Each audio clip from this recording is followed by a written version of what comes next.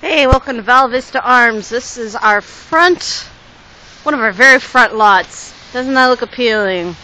They got all that, those cool, beautiful flowers over there. They got this big old tree in them right here. Nope, we're just gonna leave it bare and gross, and it looks e- even worse when it rains. Get over here. Get over here, dog.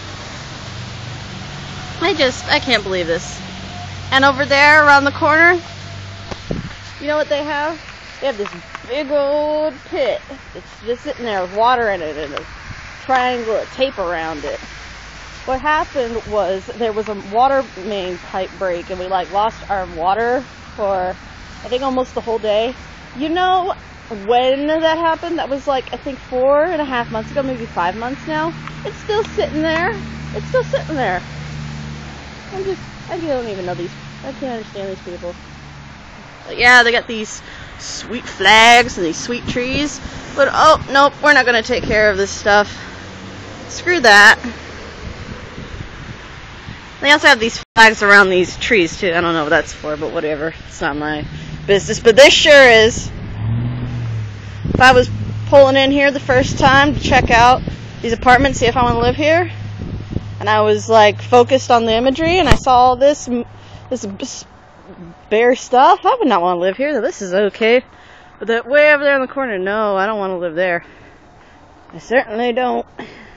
They also don't do anything about the geese problem either. The ducks here are fine, but in the summer and the spring and sometimes in February and April, no, I mean February, April counts as spring, uh, there, there are geese here.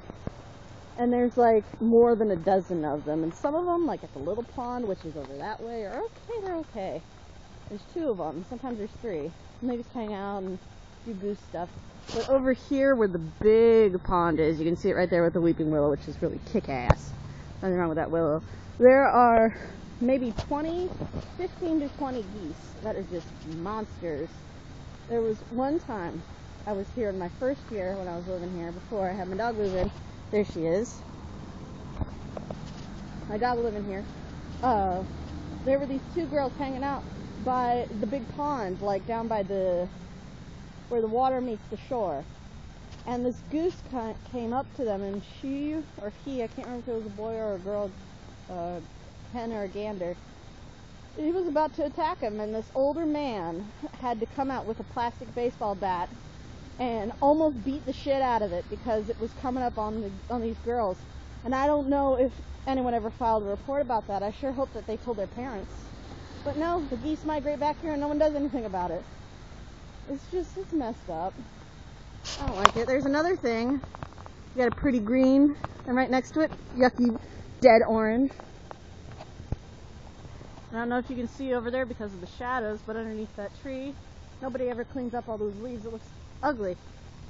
And it's in the because of global warming, it's pretty warm around here, even though it's um, October and the leaves aren't falling very very fast in some areas of the neighborhood over there underneath that tree. There's a bunch of mud. Nobody cares. Nobody's going to fix that.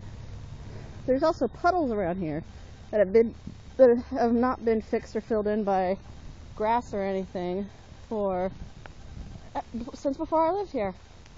I can shoot another video if anyone requests it of the big puddle or I can just take a picture of it. It's just a disgrace and in some of these gutters, not the big ones, but some of the little ones, uh, they have roots coming out of them, like little sprouts of trees, so where those little helicopter seats have fallen. Nobody does anything about that. They don't clean out those gutters in the parking garages, apparently. It's just awful. Like, this place is great, the people are nice, but some things on the grounds, they just, they don't seem to care. There's some more patches of, of dirt that no one's ever going to do anything about over there. They don't clean up the goose feces either. As you can see, there's no geese here right now, and the ducks are okay. The ducks don't bother anybody.